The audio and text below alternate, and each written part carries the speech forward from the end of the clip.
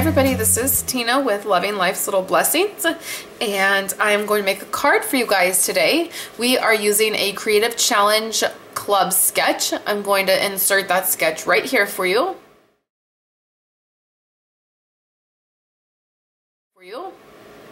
Now that you've seen basically what we're going to be making, let's jump in. I am the sketch looks like a square card and I'm I'm not good at making other size cards.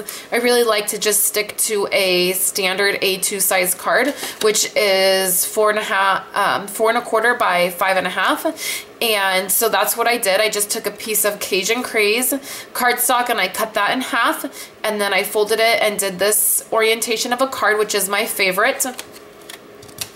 Um, I have a layer that we're going to put on here. This is a four by five and a quarter and I just used the wood grain embossing folder and um,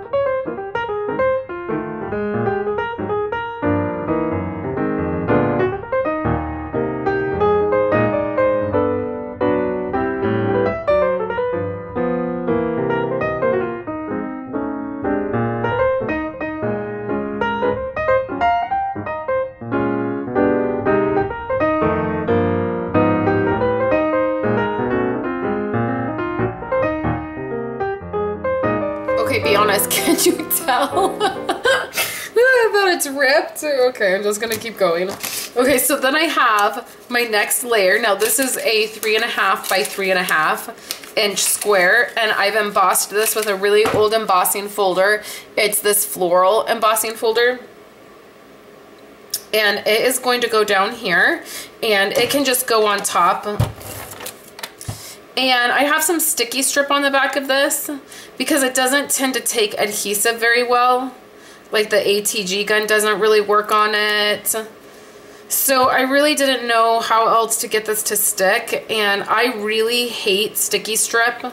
I think it is the worst pain in the neck ever. It's hard to get off and then these things stick to you. But it's the only thing that I could think that would make it it stick.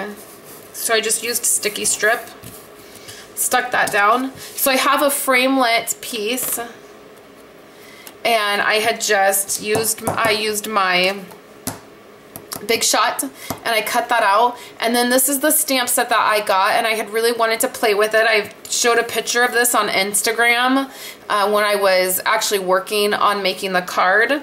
Um, if you are interested, you'll want to make sure you follow me on Instagram. I'm always sharing what I'm doing, photos of things, sneak peeks. So I'm going to take some Cajun Craze and I'm going to take the Thanks, which I already have here on a block. And we're just going to stamp that.